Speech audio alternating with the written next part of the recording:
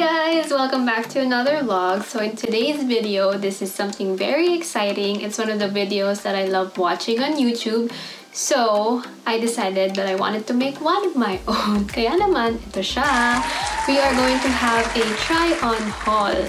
So, ginawa ko lahat ng mga nabili ko for the past few months, the past few weeks. I compiled it all together and then gumawa ako ng video I tried it on and as much as possible, I'm gonna try to describe and explain in details yung about sa clothing na nabili ko. So, lahat ng nabili ko pala is mostly affordable kasi naka-sale siya. So, I will be putting the price, the original prices and then the sale price that I got it for. And then for the items that were not on sale, it is it was very cheap. Like, under $20 lang siya. So you guys will see that when I try it on. I actually don't know how long this fashion vlog is gonna be like because this is my first time doing it. So let's just get started! So the first store that I went to was Adidas. I got three items from that store and this is one of them. It's a gray sweater in a medium size. It actually looks more light gray in person. It's just darker in color dito sa camera but Yeah, I really like this. It's very comfy. The material is very soft, pati yung loob niya, ano lang siya. Manipis lang din siya. It's good for a springtime. And this second item, it's a pair of leggings in black and I really like this because it's high-waisted. So I'm very into high-waisted leggings. It's my go-to pants. I rarely wear pants or joggers anymore, but this leggings has mesh style on the sides of it. You can't really see it, but it's there. And this one was a size medium also.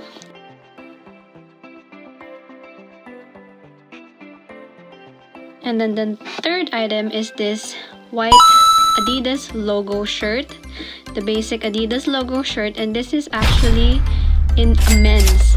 So, kinuha ko lang siya kasi it fits me naman. This one is a size small. So, medyo mahaba lang siya as you saw it there kanina. Kaya I usually tuck it in. Lahat ng mga mahabang shirts, tinatuck in ko siya. And then I leave it like that or other way that I can style it is tinutupi ko yung sleeves niya because it's if it's too long then medyo pangat naman siya tignan but that one can work din and then this one para mas may cute ano flare pa siya dun sa outfit. So yeah, that's what I usually do with long shirts or men's shirts that I get. Tapos ayan, may iba na siyang ano style. and then this next one is from Urban Planet that has been my go-to store since high school. It has never failed me. I really love basic tops like this. It's first of all, it's pink. That's why I got it. And then second of all, I really like um, shirts na may magandang quote. Like this one, it says, always be kind. I always think that it's always a reminder for me or for everybody that can read it. Tapos, another way that I style shirts na mahahaba is if I don't tuck it in, then I tie a knot like what I did on this one. Tapos yung likod niya, I could left it like that kanina or tinatakan ko lang din siya para mas neat tignan. So ayan, this is very cute and very me. And then this one is a white corset. This is actually my first pair of corset kasi I don't really wear corsets kasi wala naman akong pupuntahan.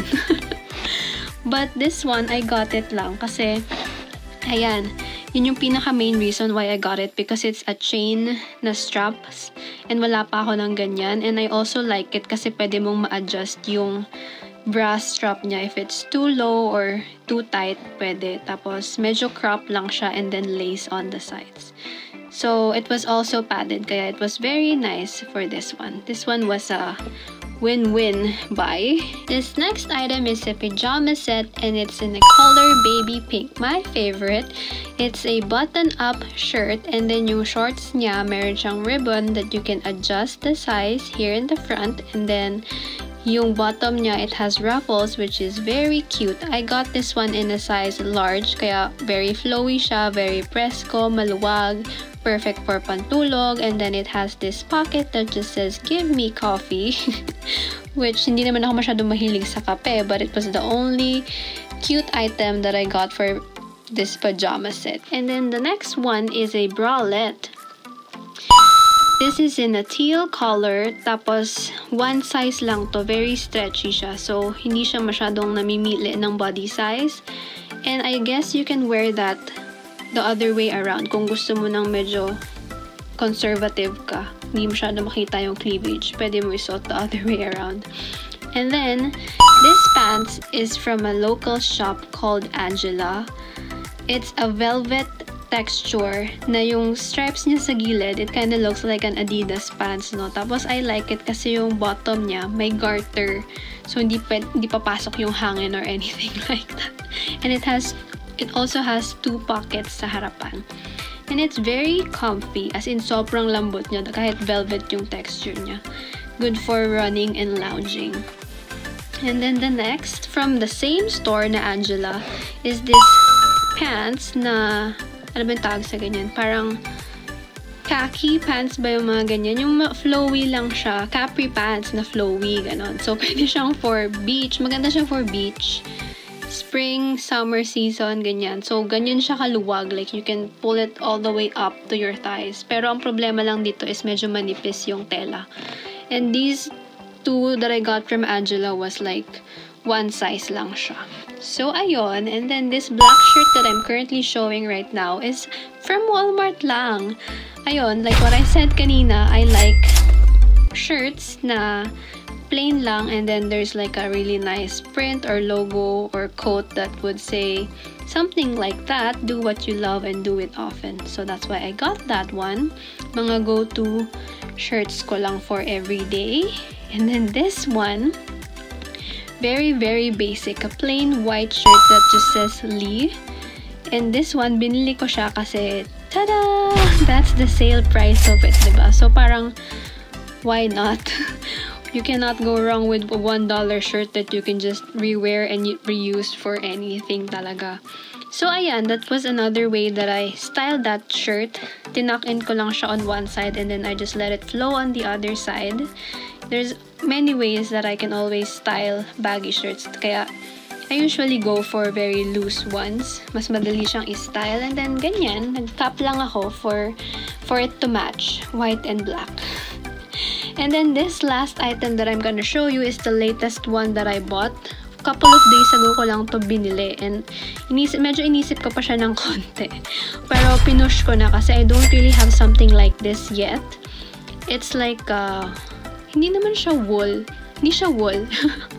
It's a velvet material. Tapos para siyang yung mga Korean, sa mga Korean novela na jackets, mga ganun ang peg nito. Tapos mag-office ka, ganyan, pang social-social lang ang peg. Tapos, meron lang siyang pastel na pockets na dalawa sa harapan, pero ano lang, eme-eme lang yan, wala naman siya. Hindi mo siya malalagyan ng kahit ano. And then, meron lang siyang belt na ganyan that you can take out naman if you don't want it, if you don't like the style of it. And then, I just like that shoulder puff. And that was all of the clothes that I got, guys. But before I end this vlog, I just want to quickly show you as well the accessories that I bought from a store called The Chateau kasi they're closing down na din. So, I just got like a few accessories two earrings and one bracelet. Kasi if you buy three, you get 20% off on top of everything that you bought. So, I got this bracelet. Ano bang tawag sa ganito? Wala siya nung chain or anything that has the lock on it. So, you just wear it like that. Kaya, parang pwede siya for all of the wrist sizes. Ayan o, it's super pretty. I diba? love parang it. very fancy siya tignan. I should have bought another one. I really like this one. So, I got this. And then the earrings, I got this. It's just a dangling that has like a diamond pearl. And then this other one is just dangling din siya. And it has two diamonds, pero mas mahaba this one. You know what? Actually, I wanna try it on so you guys can see. Kaya, let me just quickly show you how it looks like kapag nakasuot siya. So, this is the long one. Ayan, ang ganda, di ba? So, you can just wear like something like this na normal. A spaghetti strap lang na top. And then, if you wanna go for like a very romantic look. Wow, romantic. Ayan, tas yun, yun, pwede na siya. Actually, bagay siya sa outfit ko pala today. Nice. So that's what I love about like fashion. You can actually just pair it with anything. Kasi nasa, depende naman sa yun kung paano mo siya i-stylean, right? So like there's no right or wrong mix and matching. It just depends on how you do it. So anyway, ito yung other one. Mas shorter siya kaysa dun sa isa. But they both look pretty, right? Ayan, bagay din siya sa outfit ko. Nice. Ayan, guys. That's how it looks like. Ganda, di ba? So anyway, that is everything for this video. If you guys have any questions or suggestions sa mga clothing na nabili ko or anything like that, just leave me a message and I hope you guys enjoyed watching the videos and I'll see you guys on the next one. Bye! Teka lang, may nakalimutan ako. My friend from college wanted a shout out. Hi, She! Pasensya na na-delay, but here it is. Um, I miss you and I hope that you're doing well with everything that's going on na binalita mo sa akin lately. But I hope to see you soon. Stay safe. Bye!